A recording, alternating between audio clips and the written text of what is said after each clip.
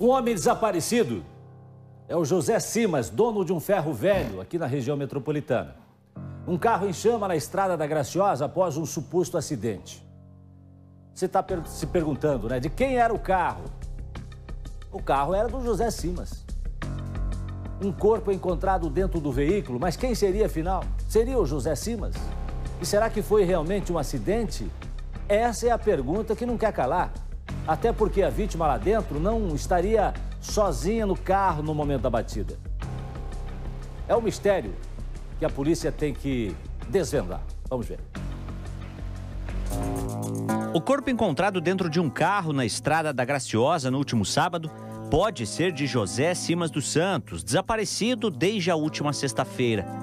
Morador de Pinhais, na região metropolitana de Curitiba, ele foi visto a última vez saindo do ferro velho onde ele era o dono, mas as circunstâncias dessa saída dele ainda são um mistério.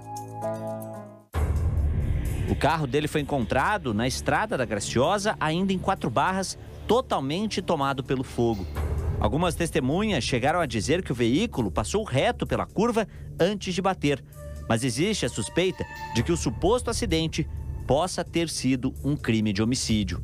A última vez que familiares e amigos do José tiveram informações sobre ele foi na última sexta-feira, quando ele falou com o genro que ia participar do almoço de aniversário da filha dele no último domingo.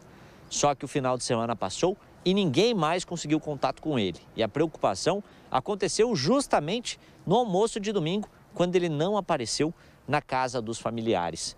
A última informação que eles tiveram é que o José iria até Morretes, no litoral do estado, para fazer um socorro mecânico em um veículo. Foi justamente a partir daí que as buscas começaram. E um amigo da família acabou descobrindo que, na tarde do último sábado, o carro em que o José estaria sofreu um possível acidente. Só que o que chama atenção nisso tudo é que, naquele dia, quando a ocorrência chegou para a polícia, a informação é de que haviam duas pessoas dentro do carro, mas quando os policiais chegaram para conter as chamas, só havia um corpo lá dentro. A família do José descartou qualquer possibilidade de que ele pudesse causar a batida de forma proposital. E ele também não aparentava ter problemas de saúde que pudessem justificar a batida. E quando um dos filhos esteve no ferro velho dele, mais uma suspeita. E aqui no ferro velho do José, algumas coisas chamam a atenção para o desaparecimento dele. A primeira delas, várias peças que estariam aqui e de grande valor, que hoje já não estão mais. A família conversou com a nossa equipe, mas prefere não se expor nesse momento, até para saber em que pé andam as investigações. Mas nossa equipe acabou apurando que no dia do desaparecimento ou no dia depois do desaparecimento, algumas pessoas estiveram aqui no Ferro Velho. Uma delas estaria com um caminhão e uma outra dentro de um carro branco. E essas pessoas podem ter algum tipo de envolvimento, talvez não no desaparecimento, mas com relação às peças que o José tinha aqui no Ferro Velho. Até porque hoje as prateleiras estão completamente vazias e essa deve ser uma das linhas de investigação. Afinal, o José foi chamado para um socorro, para atender um carro no litoral do estado ou, na verdade, tudo isso foi uma ação orquestrada para o desaparecimento dele.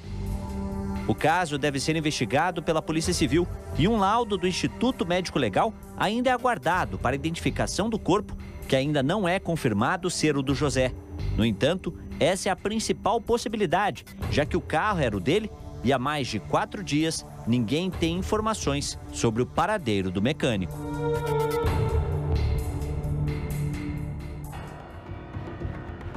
Novos capítulos dessa história você confere comigo aqui no Balanço Geral.